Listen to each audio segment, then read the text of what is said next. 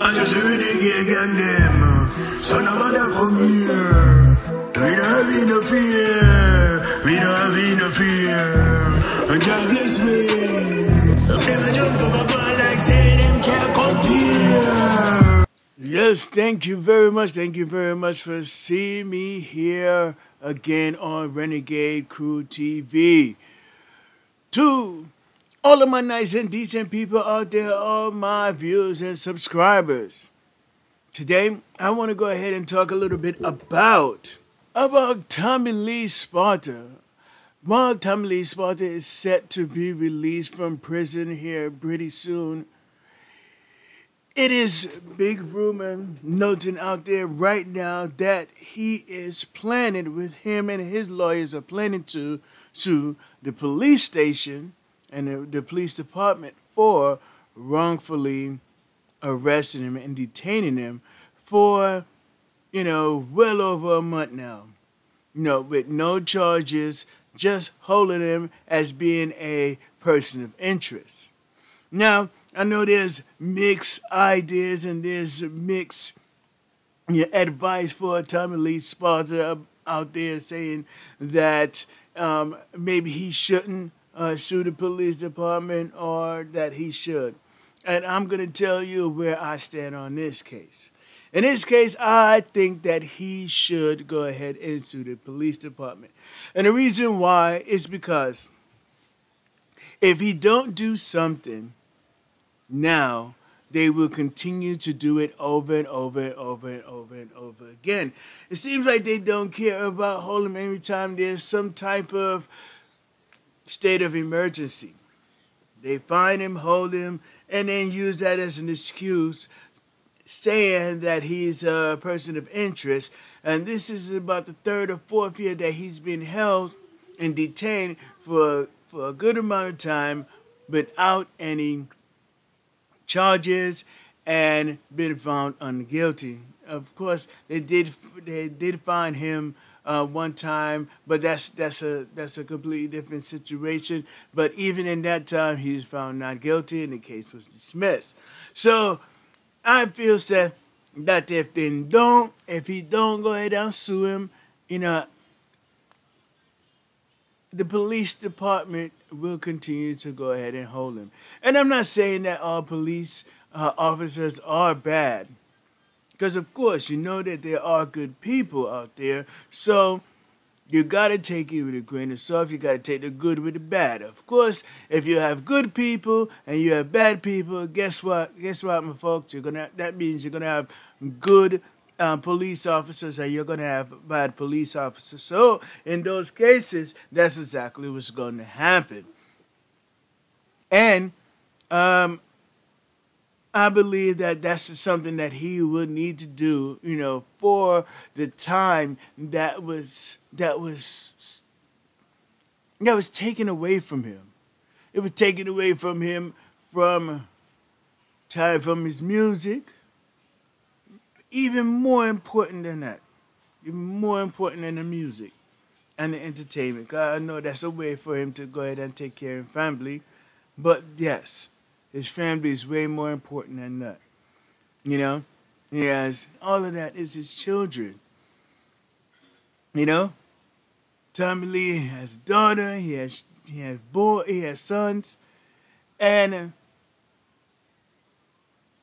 during the time he was in jail, he was missing his children, and they, in turn, of course, was missing him. So you can't just let it go by and just let this be another slap on the wrist. And no, I think something should happen to deter them from holding him if he hasn't done anything wrong. Now, don't get me wrong. I'm not saying that if he does do something wrong in the future, that they shouldn't go ahead and do their job, you know, but that's neither here nor there.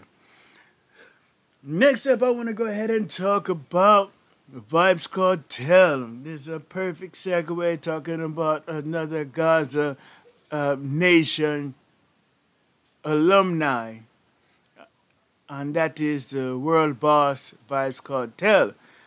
Now, recently, Cardi B and Megan Thee Stallion, two female rappers from United States, went ahead and released a really, really raunchy and in this case, Vybz Kartel, release a kind of like a freestyle to that song, a kind of fixed tape, if you will. And when he did, that was he added his he added his own seasoning to it. Put it that way. So much so that Cardi B herself said, "You know what? You have to release that." And she's going ahead and hit her stamp of approval on that. Now, I know in the past she has stated that Vybz Kartel is her favorite artist of all time. Whether hip hop, whether, you know, reggaeton, you know that she is um, Hispanic as well. She's a mix between um, Hispanic and Trinidadian, right?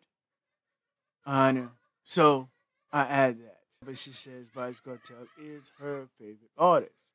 So that's notice to say that considering that she is married to a, a rap artist as well, as well, um, you know, that says a lot. You know, so Vybz Kartel keep going bad with the thing, you know what I mean? And also, she was also um, noted as recently saying that she wanted to um, start at OnlyFans page. So all of you out there who do want to um, be more involved with um, with Cardi B and her family, which she stated that um, she will not be doing anything uh, X-rated or anything like that. This is just a way for her and her fans.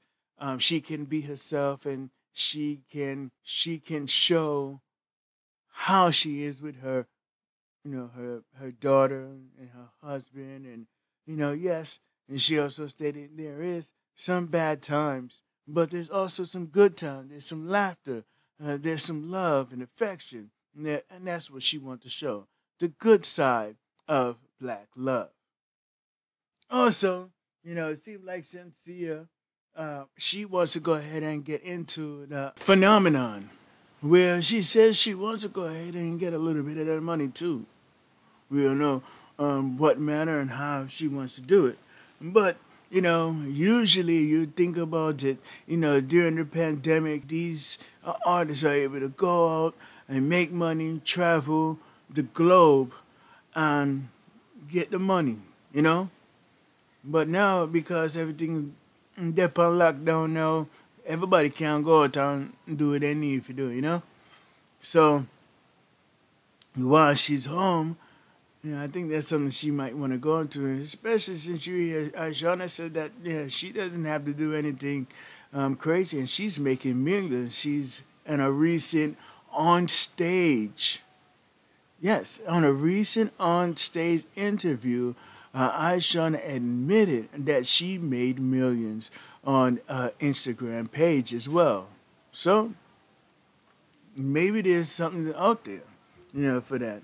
It's a new phenomenon. Everybody's jumping right on it and making money here and there. I even hear um, the Louisiana Lil Boosie, who's been making a lot of money, where but Mark Zuckerberg shut down his his page because I don't know, but he shut down his page. He begged for him to open his uh, uh his uh, Instagram page because he needs to make his money for his children. But you know, comment down below. Tell me what you think.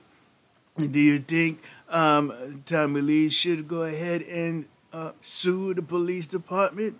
Do you think Shenseea should uh, get an OnlyFans page? Comment down below hit the subscribe button, hit the like button.